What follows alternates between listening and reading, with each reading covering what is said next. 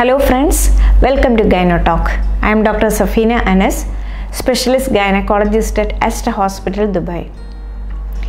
In this video, I will talk about a procedure called loop electrosurgical excision procedure, which is commonly called LEEP. Few years back, when atypical cells are detected in pap smear or cervical biopsy, the treatment option was removal of uterus. But nowadays, it can be treated by the LEEP procedure by preserving the uterus. What is LEEP? LEEP is one way to remove the abnormal cells from the cervix using a thin wire loop.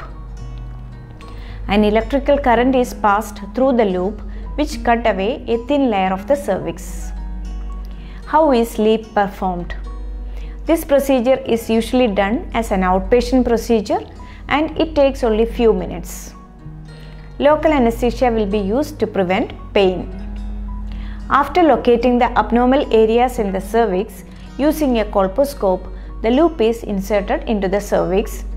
After the procedure, electrocautery may be used to control the bleeding and a special paste may be applied to stop further bleeding. The tissue that is removed will be sent for biopsy. What are the risks of LEEP? Heavy bleeding. Most common risk is heavy bleeding in the first 3 weeks. Increased risk of future pregnancy problems like premature birth.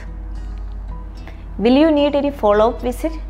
Yes, you should have follow pap smear and colposcopy as advised by your doctor. If you have abnormal screening test again, you may need more treatment. Hope this information is useful to you. See you next time with another topic. Thank you.